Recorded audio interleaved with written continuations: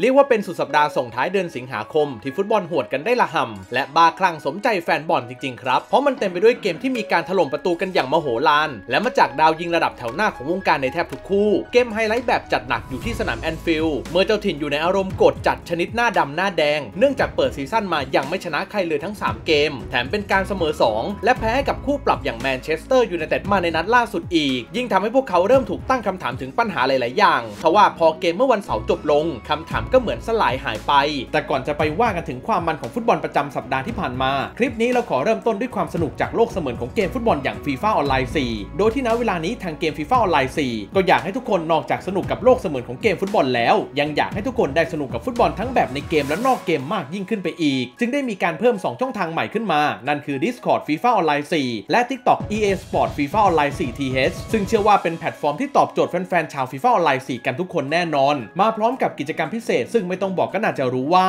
กิจกรรมพิเศษเหล่านี้มักตามมาด้วยของรางวัลแจกกันมากมาย โดยทุกกิจกรรมจะมีความ Exclusive เฉพาะของแต่ละช่องทางถ้าไม่นับเรื่องกิจกรรมพิเศษอย่างใน Discord แน่นอนก็จะช่วยทุกคนได้พูดคุยสื่อสารกันโดยตรงกับเหล่าคอเกม รวมถึงหากมีปัญหาข้องใจตรงจุดไหน ก็สามารถสอบถามถึงแอดมินกันได้เลย ส่วนในช่องทาง TikTok ก็จะเป็นความสนุกปนสาระเพราะมีทั้งคลิปทัวร์นาเมนต์หรือกระบวนการสูตรตีบวกในรูปแบบต่างๆ ยังไงฝากทุกคนเข้าไปติดตามทั้ง 2 ช่องทางอย่าง Discord และ TikTok ของ FIFA Online 4 กันด้วยนะครับหากใครสะดวกสแกน QR Code ก็จัดได้เลยครับ หรือถ้าใครสะดวกกดลิงก์ยังไงเดี๋ยวเราแปะไว้ให้ที่ใต้คอมเมนต์ของคลิปนี้นะครับ กลับมาที่ประเด็นเรื่องฟุตบอลประจำสัปดาห์ โดยบอร์นมัธทีมน้องใหม่ ที่คุมโดยสก็อตต์ ปาร์คเกอร์กลายเป็นผู้โชคร้าย ต้องโคจรมาพบกับหงส์แดงที่กำลังเก็บกดแบบสุดๆ จนถูกกระหน่ำยิงแบบไม่ยั้งไป9ประตูต่อศูนย์ส่งให้ลิเวอร์พูลขึ้นมาทำสถิติร่วม ในด้านชนะสกอร์มากสุดในยุคพรีเมียร์ลีกส่วนคนที่ฟอร์มดีจนเตะตาหนีไม่พ้นเทรนต์ อเล็กซานเดอร์-อาร์โนลด์ที่พลิกฟอร์มขึ้นมาจากหลายนัดก่อนหน้านี้ เช่นเดียวกับเวอร์จิลฟานไดค์ที่หนักแน่นเป็นภูผาแข็งแกร่งดังเดิม โดยทั้งเทนแลฟันได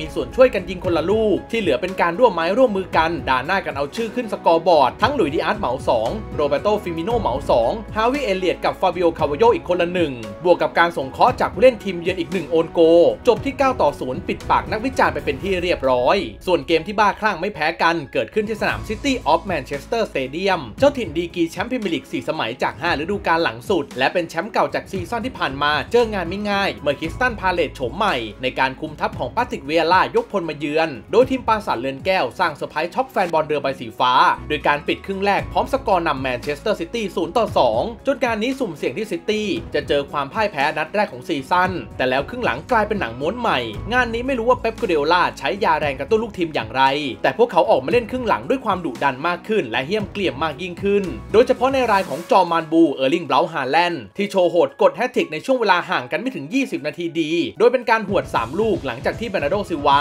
ตีไข่แตกได้ในนาทีที่ 53 นี่คือแฮตทริกแรกบนเวทีพรีเมียร์ลีกของฮาแลนด์เป็นการทำแฮตทริกครั้งที่ 15 นับตั้งแต่เล่นฟุตบอลอาชีพ และเป็นนักฟุตบอลคนที่ 15 ในประวัติศาสตร์สโมสรเรือใบสีฟ้าที่ทำแฮตทริกได้สำเร็จ จนถึงตอนนี้สถิติบ่งชัดฮาแลนด์หวดประตูไปแล้ว 6 ลูกจาก 4 เกมพรีเมียร์ลีกงานนี้ใครไปขำขันในวันที่เขางัดบอลเหินข้ามคานในเกมคอมมูนิตี้ชิลด์คงได้รู้แล้วว่าอย่าปลุกปีศาจร้ายในตัวของเด็กวัย 22 ปีคนนี้ให้ตื่นเพราะดูทรงแล้วถ้าเครื่องน้องมันติดขึ้นมา ใครก็เอาลงได้ยากนะแบบนี้ แต่เหนืออื่นใดคือแมนเชสเตอร์ซิตี้ยังโชว์เห็นความเป็นทีมฟุตบอลที่เน้นระบบอันแข็งแกร่งถ่ายทอดมาจากมันสมองระดับพรีเมียมของเป๊ปกูเดโอล่าและถูกนำไปปฏิบัติในสนาม โดยแข้งระดับพระกาฬที่ทำผลงานดีแบบน่าชื่นชม ไม่ว่าจะเป็นเสาหลักเกมรับอย่างดูเบนดีอาร์ตสามเทพแดนกลางอย่างเควินเดอ บรอยน์ แบร์นาร์โด้ ซิลวาและโรดรี้เช่นเดียวกันกับในแนวรุกที่นอกจากจะมีเออร์ลิงฮาแลนด์เป็นยักษ์ปักหลั่นคอยทะลุทะลวงแนวรับ ก็ยังเสริมด้วยอาวุธอันตราย2ฝั่งอย่างฟิลโฟเด้นรวมถึงริยาดมาห์เรซเท่ากับจบ matchday ที่ 4 เรือใบสีฟ้าเก็บเพิ่มเป็น 10 คะแนน จากผลงานชนะ 3 เสมอ 1 ส่วนแมนเชสเตอร์ยูไนเต็ดที่เตะเป็นคู่แรกของวันเสาร์เจองานยากที่เซนต์แมรี่บ้านของเซาแธมป์ตัน กว่าจะมาปลดล็อกประตูชัยได้จากการสังหารแบบไม่จับของบรูโน่ แฟร์นันด์สในช่วงต้นครึ่งหลัง นอกจากจะช่วยให้ทีมผ่านเกมยากแบบมี 3 คะแนน ประตูนี้ยังเป็นการปลดล็อกตัวบรูโน่เอง ที่ไม่ยิงประตูมาสักระยะแล้วด้วย นี่คือประตูแรกของบรูโน่ในซีซั่นนี้ ประตูแรกในเกมลีกรอบ 5 นัด เมื่อนับรวมจากช่วงปลายฤดูกาลก่อน เรียกว่ามาถูกที่ถูกเวลาแล้วแฟนผีก็คาดหวังว่าจอมทัพโปรตุกีสจะต่อยอดผลงานให้ดีต่อเนื่องแบบยาวๆได้นั่นเอง ส่วนอาร์เซนอลคู่ปิดท้ายคืนวันเสาร์ลูกทีมของอาร์เตต้ายังคงไม่สะดุดแม้จะไม่ง่ายที่เจอกับฟูแล่มแถมยังโดนทีมเยือนออกนำไปก่อนทว่าด้วยแรงเชียร์จากเดอะกันเนอร์ในสนามทำให้พวกเขาค่อยๆ หาทางกลับมาสู่เกม ไม่ถึง 10 นาทีหลังโดนยิงก็สามารถตีเสมอได้จากกัปตันโอเดการ์ดซึ่งเป็นการแอสซิสต์มาจากบูกาโย่ ซาก้าก่อนที่ช่วงท้ายเกมเอมิเรตสเตเดียมจะเต็มไปด้วยความบ้าคลั่งเมื่อกาเบรียลมากัลเญสได้ลูกคุกคิกหน้าประตูจากลูกเตะมุมเข้ามา ก่อนปิดบัญชีเป็นประตูชัย โดยลูกนี้ชื่อของวิลเลียมซาลิบา ยังโผล่เข้ามาในฐานะของคนแอสซิสต์ได้อีกต่างหาก จบเกมลงด้วยชัยชนะของอาร์เซนอล2ต่อ1พร้อมรั้งจ่าฝูงแบบเดี่ยวๆจากชัยชนะ 4 นัดรวด หลังออกสตาร์ทฤดูกาลที่เหลือคงต้องมาดูกันแล้วว่า ทีมใดจะหยุดความร้อนแรงของทีมพลังหนุ่ม ที่คุมโดยโค้ชหนุ่มอย่างมิเกลอาร์เตต้าทีมนี้ ข้ามไปดูกัลโช่เซเรียอาอิตาลีมีเกมใหญ่คู่ดึกยูเวนตุสเปิดบ้านพบกับโรม่าและเพียงไม่กี่นาทีดีหลังเริ่มเกม ทีมม้าลายก็มาได้ประตูออกนำไปก่อน จากลูก set piece ฟรีคิกหน้ากรอบเขตโทษ ดับสังหารโดยดูซานวลาโฮวิชกองหน้าตัวแรงที่โชว์ให้เห็นว่า ไม่ได้มีดีแค่เป็นตัวจบสกอร์ ตามวิถีของกองหน้าตัวเป้าเพียงอย่างเดียว แต่ยังมี option อย่างลูกตั้งเตะที่เขาสังหารได้อย่างคมกริบบอลพุ่งเร็ว แรงโค้งเช็ดใต้คานแบบเหลือๆกระทบเข้าประตูไปแบบสวยๆนี่คือประตูที่ 3 ของกองหน้าชาวเซอร์เบียในซีซั่นนี้ หลังเตะมา 3 เกมน่าเสียดายที่ฉากจบทำได้แค่เสมอเพราะโรม่าของโชเซ่มูรินโญ่มาได้ประตูเซฟแต้มในช่วงท้ายเกม จากลูกโหม่งจ่อๆของแทมมี่อับราฮัมโดยเป็นการแอสซิสต์ท่ายากมาจากเปาโลดิบาล่าอีกทีสำหรับดิบาล่านี่คือการกลับมาเยือนตูรินครั้งแรก หลังย้ายออกจากทีมไปแบบไม่มีค่าตัว ซึ่งเสียงตอบรับจากแฟนม้าลาย ก็ยังถือว่าให้เกียรติเจ้าตัวอยู่ค่อนข้างมาก ขณะเดียวกันอีกหนึ่งเกมใหญ่ที่อินเตอร์มิลาน ยกพลไปเยือนรังอินทรีฟ้าขาวลาซิโอ ก็จบลงด้วยชัยชนะของทางเจ้าถิ่น และเป็นการพ่ายแพ้นัดแรกสำหรับทีมงูใหญ่บนสกอร์3ต่อ1ประตูเดียวที่อินเตอร์มิลานทำได้ ยังคงมาจากผลงานของดาวเตะคนดีคนเดิมเลาตาโรมาร์ติเนซซึ่งซีซั่นนี้นับตั้งแต่ออกสตาร์ทมา เจ้าตัวถือว่ามีผลงานที่ยอดเยี่ยม ลงเล่น 3 นัดยิงไปแล้ว2 ลูกกับ 1 แอสซิสต์น่าเสียดายแค่เกมนี้ เขาไม่อาจช่วยให้ต้นสังกัดมีแต้มติดมือกลับไป แต่เชื่อว่าการมีฟุตบอลโลกรออยู่ช่วงปลายปีนี้ จะยิ่งเป็นแรงบวกให้มาร์ติเนซเร่งทำผลงานให้ดีต่อเนื่อง เพื่อโควต้าไปลุยฟุตบอลโลกกับทีมชาติอาร์เจนตินาจะได้ไม่สั่นคลอนนั่นเอง ขณะเดียวกันกับที่อินเตอร์มิลานสะดุด แต่เพื่อนร่วมเมืองอย่างเอซีมิลานในฐานะแชมป์เก่าก็ยังคงเก็บแต้มได้ต่อเนื่อง ด้วยชัยชนะเหนือโบโลญญา2ต่อ0โดยมีฮีโร่ชื่อราฟาเอลเลเอาที่ยิง1แอสซิสต์1ช่วยให้มิลานยังคงรั้งจ่าฝูงหลังผ่านไป 4 เกม เรียกว่ายังแกร่งสมราคาเต็งแชมป์และต้องบอกเลยว่า นี่ขนาดยังไม่มีลูกพี่สลาตันพวกเขายังแกร่งขนาดนี้ ถ้าลูกพี่กลับมางานจะดีกันขนาดไหน ส่วนที่บุนเดสลีกาเยอรมันแม้บาเยิร์นมิวนิคจะสะดุดเสมอเกมแรกของซีซั่นให้กับคู่แข่งชื่อโบรุสเซียมึนเช่นกลัดบัคบนสกอร์1ต่อ1แต่รายละเอียดเกมคือความบ้าคลั่งขั้นสุด จากตัวเลขโอกาสทำประตูรวมของเสือใต้ที่มีมากถึง 28 ครั้ง แต่ทว่า 19 ครั้งจากทั้งหมดนั้นโดนปฏิเสธโดยผู้รักษาประตูนามว่ายานซอมเมอร์ กลายเป็นสถิติเซฟมากสุดต่อเกมในเวทีบุนเดสลีกาจนโลกโซเชียลนำไปแซวกันว่า ยานซอมเมอร์คือร่างตีบวกที่มีส่วนผสมของทั้งบุฟฟอน กาซิยาสยาชินและโอลิเวอร์คานกันไปเลย งานนี้เรียกว่าคนยิงก็ยิงจนท้อ ส่วนคนเซฟก็เซฟจนถุงมือขาดกันไปข้างเลยทีเดียว สรุปจบเดือนสิงหาคม กับทางตรงแรกของฤดูกาลในแต่ละลีก นักเตะตัวแรงดีกรีใหญ่ๆ อาจยังไม่ได้ปล่อยของมากเท่าไหร่ อาจเพราะว่าเครื่องยังเย็นกันอยู่ แต่ในพรีเมียร์ลีกเองนั้นหลังผ่าน 4 นัดแรกมา ก็เริ่มจะได้เห็นน้ำเห็นเนื้อชัดขึ้นในแง่ของอันดับดาวยิง โดยจนถึงตอนนี้เออร์ลิงฮาแลนด์เดินทางผ่าน 4 เกมแรกของซีซั่นโดยทำไป 6 ประตูขึ้นนำเดี่ยวบนชาร์ตดาวซัลโว ตามมาด้วยลำดับรองๆลงมาคืออเล็กซานดาร์มิโตรวิชจากฟูแล่ม และโรดริโกจากลีดส์ที่ทำได้ 4 ประตูเท่ากัน ขณะที่เต็งดาวซัลโวถูกคาดกันว่า อาจมีลุ้นเบียดตีระยะยาวไปพร้อมกับฮาแลนด์อย่างแฮร์รี่เคนนั้น เริ่มต้นเมื่อวานก่อนเกมเจอกับนอตติงแฮมฟอเรสต์ด้วยผลงาน 2 ลูก ก่อนพาสเปอร์คว้าชัยเหนือทีมเจ้าป่า โดยที่ตัวเขาบวกประตูเพิ่มได้อีก 2 ถือเป็นการยิงประตู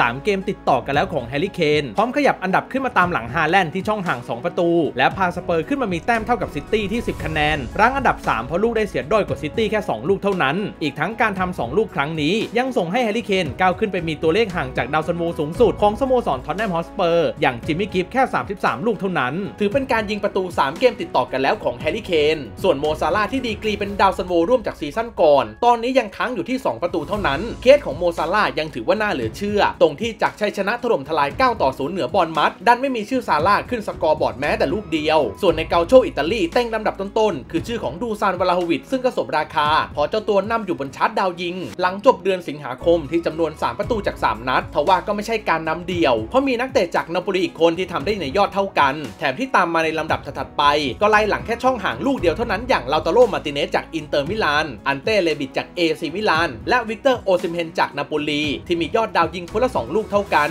เรียกว่าช่องห่างยังไม่มาก และยังคาดเดาอะไรได้ไม่มาก ต้องรอดูกันว่าถ้าจบซีรีส์ของเดือนกันยายนจะมีอะไรชัดเจนขึ้นกว่านี้หรือไม่ขณะที่ในบุนเดสลีกาเยอรมันค่อนข้างแปลกตา เพราะแม้สกอร์รวมในการยิงของบาเยิร์นมิวนิคจะไล่ถล่มคู่แข่งได้อย่างยอดเยี่ยม แต่นักเตะที่นำดาวซัลโวเกมลีกหลังจบเดือนสิงหาคม กลายเป็นคริสโตเฟอร์เอ็นคุนคู ดาวยิงจากแอร์เบย์ไลฟ์ซิกซึ่งหวดไปแล้วทั้งหมด 4 ลูก รั้งอันดับหนึ่งร่วมกับเชราลโดเบ็คเกอร์จากสโมสรอูนิโอนเบอร์ลิน แต่ก็ไม่ได้ถือว่าห่างจากที่ตามมาในลำดับรองๆ พวกตัวท็อปค่ายเสือใต้อย่างซาดิโอมาเน่ก็ยิงไปแล้ว 3 เช่นกันกับเจ้าหนูมาร์คุสตูรามจากกลัดบัคที่ฟอร์มแรงในช่วงต้นทำไปแล้ว 3 ลูกเหมือนกัน เชื่อว่ายังคงต้องดูทางยาว แล้วจะเห็นภาพรวมในเรื่องของการแย่งดาวซัลโวที่น่าจะชัดมากขึ้นสำหรับบุนเดสลีกาและนี่คือส่วนหนึ่งของฟุตบอลประจำเดือนสิงหาคม ส่วนถ้าใครอยากสนุกแบบทันทีเดี๋ยวนี้ อยากรับรู้ว่าเหล่าบรรดาดาวยิงที่เรากล่าวถึงในคลิปนี้ มันให้อารมณ์ความรู้สึกว่าเก่งกาจขนาดไหน ก็อย่ารอช้าครับ กดเข้าไปนี่เลย FIFA ออนไลน์4ซึ่งครับข้างไปด้วยดาวยิงระดับพักการในคัด22 ที่ OTS ไม่ว่าจะเป็นเออร์ลิงเบราท์ฮาแลนด์ร่างจอมมันก่อนย้ายมาแมนเชสเตอร์ซิตี้